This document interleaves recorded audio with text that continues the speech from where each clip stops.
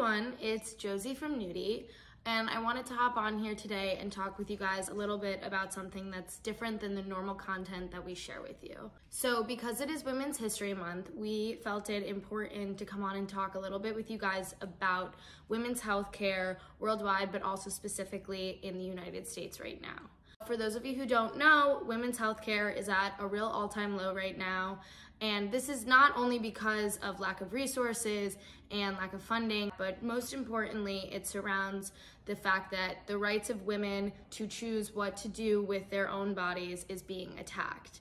And as we are a female founded, female ran company, we felt very passionate about coming on and talking to our customers and our community about what is happening. And specifically to empower our female customers to know the rights that they have in the places that they are and to empower them to speak up and advocate for themselves. We wanted to talk about how important it is to not only educate the other women in your life and anyone else that you are close with because the biggest thing that we can do is to stop the stigma around the conversations around women's health and women's bodies. Want this to be a safe space for everybody. We, of course, are not going to be able to know about every incredible organization and resource that there is out there. So we want to open up the comments for you all to share if there are any organizations, educational resources um, that you feel really passionate about, you feel that you would love if other people could have access to them, to feel free to leave them in our comments.